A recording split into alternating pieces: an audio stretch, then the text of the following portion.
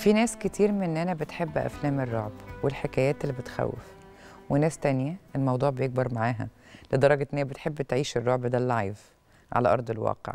تلاقيهم بيدوروا على في الأحداث اللي هم عايشينها يعني على أي لحظة الأدرينالين فيها يعلى حتى لو من الخوف. ممكن تكون حياتهم صعبة ومملة فبيحاولوا يهربوا من الملل ده. بإنهم بيدوروا على سسبنس بيجي من مبالغة ويحطوا تفاصيل كتير غريبة ويكونوا ضحايا لأوهام وخيالات مش مدركين. إنه في حاجات جواهم كده ملهاش أساس من الصحة ومش موجودة غير في خيالهم بس. دول بقى ممكن نسميهم أو العلم بيسميهم المرضى النفسيين. اللي متابع حلقات قصة حقيقية هيكتشف إن قصتنا النهاردة جات لنا قصص كتير شبهها قبل كده. بتفاصيل مشابهة جدا زي قصة جات لنا قبل كده عن بنت اسمها جانا. بعتت مامتها بتقول لنا إنه بنتها بيظهر لها واحد بيضربها على دماغها وهي نايمة وساعات بتشوف حاجات ماشية وراها. مرة قامت مفزوعة لقيت واحد متعلق قدامها. في مرة تانية بعد الجواز والخلفة شافت الطفل بتاعها اللي نايم جنبها وهو بيتحول لبلاستيك لحد ما جالها هزال وخست خالص وبقت ما بتاكلش ولا بتشرب. زي بالظبط قصة حميدة النهاردة اللي بتعاني من وهي طفلة من إنها بتشوف حاجات غريبة أو بتتوقع حاجات بتحصل. في ناس كده سمعت عنهم بس هي الموضوع اتطور معاها بعد الجواز. لقيت واحدة بتهزها وبتصحيها من النوم بتقول لها أنت كتير عليكي ابنك وجوزك أنا هأذيلك ابنك. من يومها وهي قافلة على نفسها قافلة على حياتها حياتها على طول متدهورة أو في النازل. عشان كده النهاردة بقول لحميدة كلام شبه اللي قلته لجانا وقتها. أصعب حاجة في المرض النفسي يا حميدة إنه بيخلي الواحد يواجه عدو مش موجود بيعيش حالة مش حقيقية فيها أوهام وفيها مبالغة وفيها إن هو بيفسر تفاصيل من اللي حواليه حسب خياله وتوصله لكلام مش المنطقي إنه يحصل يعني. أول خطوة ممكن تكون العلاج وأول خطوة هي إنه المريض يدرك وأهله يدركوا إن عندهم مشكلة ومحتاجين لمساعدة مساعدة طبيب مختص لازم يروحوا له ويتابعوا معاه. زي أي مرض مش هيتحل غير ما يكون في دكتور بيعالج.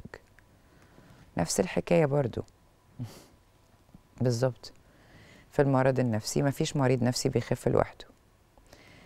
لازم في الأول يعرف إن هو عنده فعلا مشكلة نفسية. يختار الدكتور الثقة اللي يقدر يروح له ويعتمد عليه في خطة العلاج ويحكي له بقى اللي بيحصل عشان الدكتور هو اللي يقول له ويعرف يشخصه ويعرف يعالجه.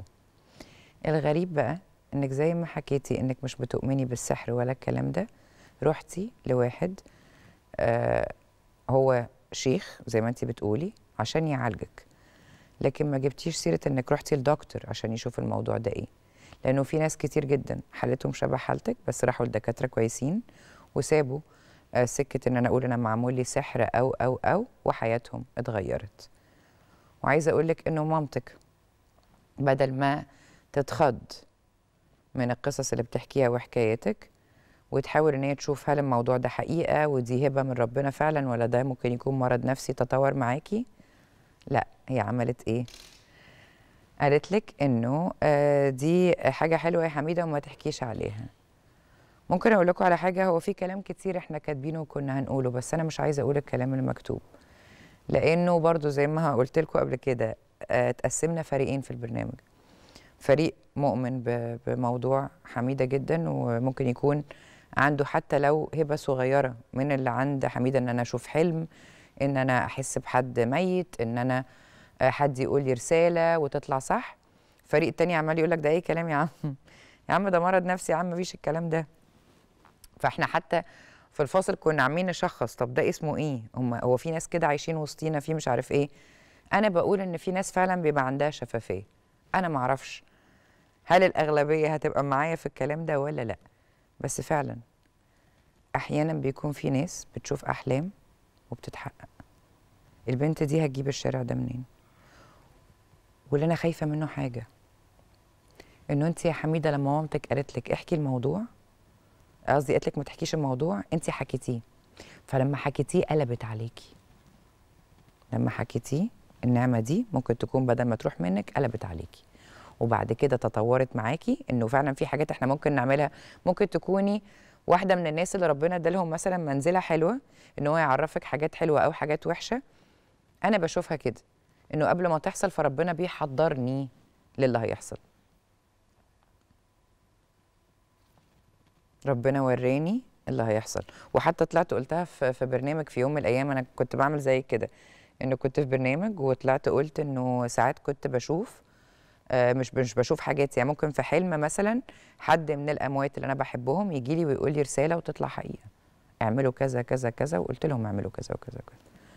لحد ما جات لي رسالة تخوف. ممكن أكون أنا سبت نفسي زي كده وكنت غلطانة جات لي رسالة تخوف. حتى قلتها بالنص.